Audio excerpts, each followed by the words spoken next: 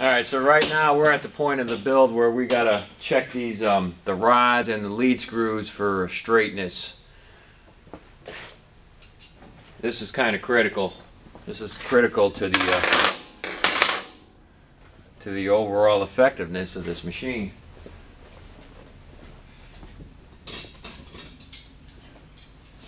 Now, I don't have a piece of glass, but I got this countertop. I mean, I'll see any wobble. If there's anything that crazy excessive here, we're gonna we're gonna try to straighten them out if it's even possible.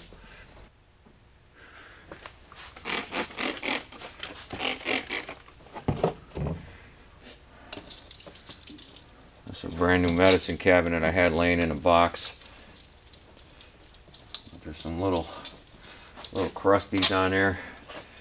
I'll go over them with the razor blade.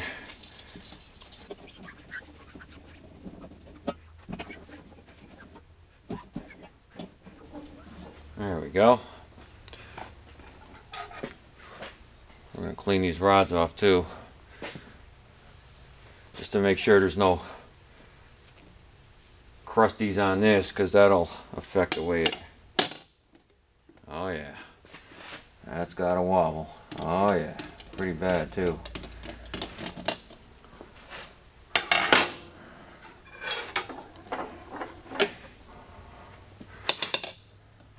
At this point, I'm going to try straightening them out. I hope this doesn't delay the build.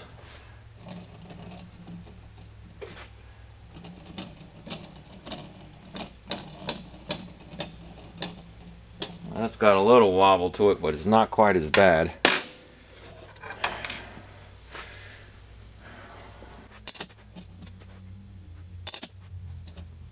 That's great. It's almost possible to get things perfectly straight. Okay, pretty bad. I'm not sure which one's we have to get. Oh shit. Not great either. There's burrs on the end. That could, could be affecting it too. This one's really nice. Definitely within within reasonableness. Let's check these lead screws. Because if these lead screws ain't straight, that's where your Z-wobble comes in.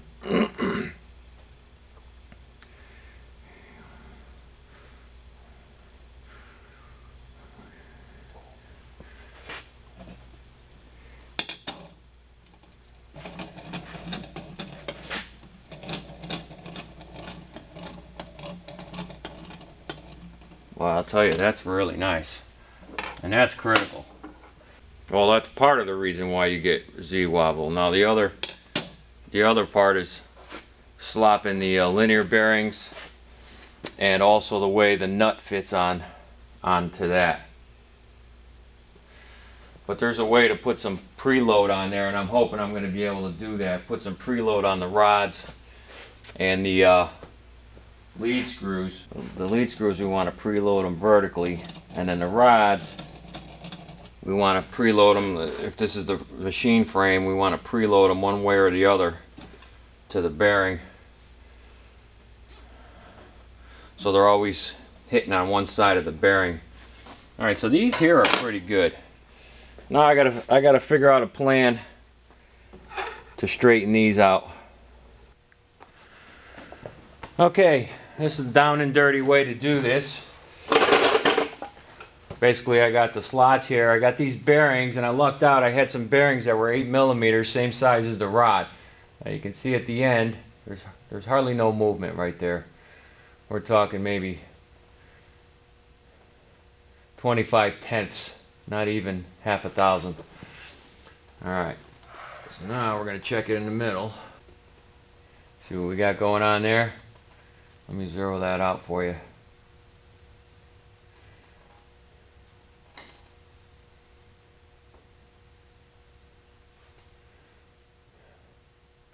We got about five thousandths, four and a half thousandths.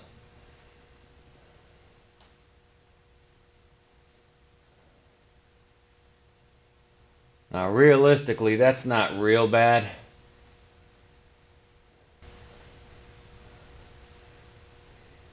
Let's see if we can straighten it out a little bit. and it seems to be all in the middle. Let me check.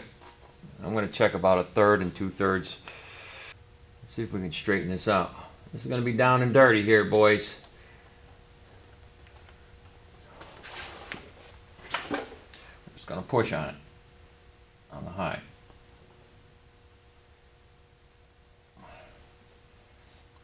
Go a little at a time. See if that worked. I mean, perfection is not what we're looking here for. We're just looking for good enough, but okay, that's the high.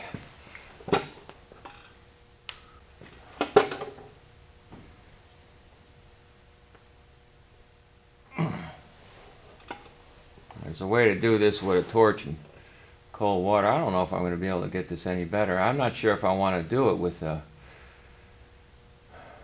with a torch and water. All right, here's the lead screws. Oh, that's one of them. We got about one and a half thousandths maybe, which is I'm pretty impressed with that. I'm going to try the other one here. Let's see what we got going on here.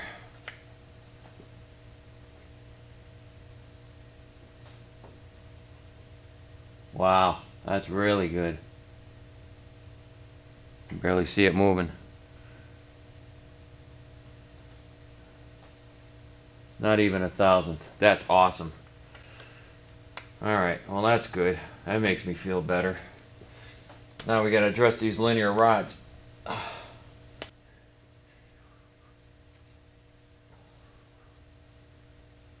tell you, it doesn't look bad spinning in the bearing. But the proof is in the numbers, right?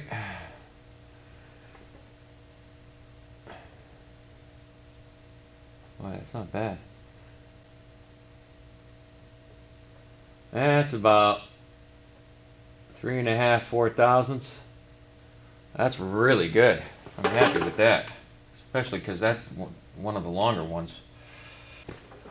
But I don't want to see much more than 10 thousandths out of these things.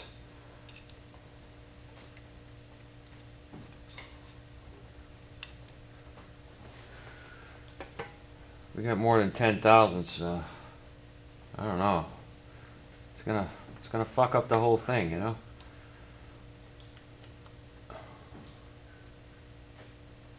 Whoa.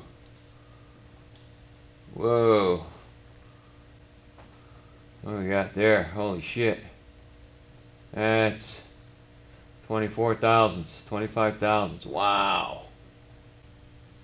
That's the high spot. My mark is still there. You can't really see it, but let me, uh, let me mark it again. That's the high spot right there. All right, let me get my uh, acetylene torch set up here with a with a small tip and let's see if we can do a little bit better. See, the theory is you heat up the high spot and then cool it and that shrinks the high spot, right? Because that's longer, theoretically, that's a little bit longer than the, than the low spot. And so by shrinking the high spot, it takes the curve out of it. I used to do this I mean, I didn't straighten out rods. I used to straighten out body panels like that because when we'd bang them out, they'd get stretched out. And then to shrink them, that's what we'd do. We'd heat it up with a, with a torch, get it nice and hot, and then cool it off with a wet rag, and it would, uh, it would stretch the metal out, you know, I mean, shrink the metal down so that you wouldn't have a bubble in the panel. It worked out good, you know, because with body work, just kind of like it's kind of like drywall. You want things to to sit low. You never want them to sit high. You want them to sit low. Then you can fix them with body filler. There's the. I just put that flashing there so that uh, I don't do any damage to my milling bed here.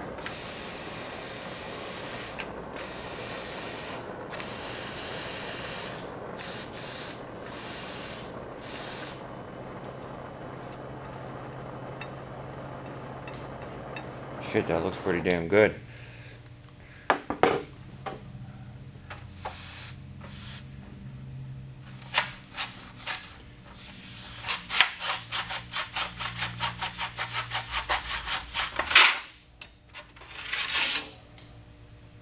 Wow. That looks really good. Ha!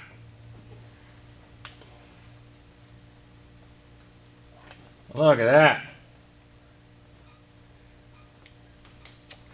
Wow, that's awesome. Look at that. Half a thousand. That's awesome. From 25 thousandths of play to half a thousand. That is freaking awesome. All right. Oh, that is awesome. One thousandth. That is sexy. I like that. All right. I'm going to do the other ones, and I'll be back with you guys. I'm only going to do the really bad ones. Wow, I'm so impressed with how this came out. That's great. Okay, I got all the rods straightened out. Um, there was really only two really bad ones, and one I should have left alone. This was the worst one. It was one of the longer ones, but I got this one in within a, a thousandth, thousandth and a half of movement. This one was six thousandths out. It was one of the shorter ones, and uh, I actually made it worse, and then I had to fix it. And so, you know, my suggestion is if they're more than ten thousandths out, or less than ten thousandths out, I should say, if they're less than ten thousandths out, I wouldn't even mess with them because ten thousandths is not a lot of movement, um, especially on a rod like this. The um, I was really impressed with the lead screws on this. They were right there, right there, a, a thousandth, a thousandth and a half. So if I'm getting any Z wobble, it's not because of this. It might be, it would be because of the, the couplings, you know, wobbling, and that's something else I'm going to look at. But there's two set screws on that, so you can play with that a little bit, and you can shim it, and you can do all kinds of things to get those to run true. So um, I think, you know, doing this really is going to make the difference between a crappy print and a good print. So that's where I'm at with that. So I'm going to continue with the rest of the assembly now because I was at the point where I needed to start putting rods in and I wanted to make sure that they were straight before I put this together.